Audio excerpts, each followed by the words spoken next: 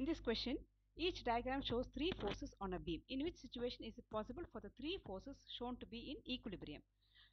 Look, what is equilibrium? When an object is said to be in equilibrium, no net force, no net moment.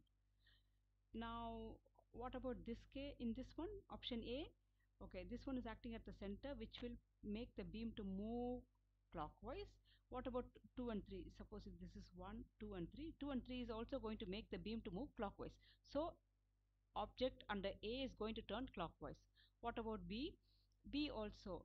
Now this two force, this is going to make the beam to move upward. This is going to make the beam to go like this. So there will be a resultant in the clockwise direction.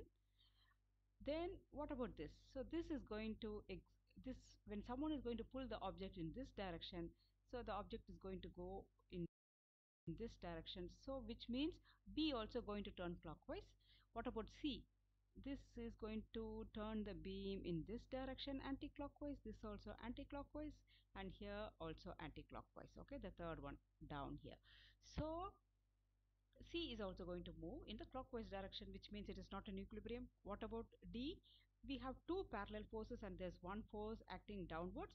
So suppose if one of the parallel force this one on the left is going to exert a moment like this and the one here uh, on the other end is going to exert a moment like this.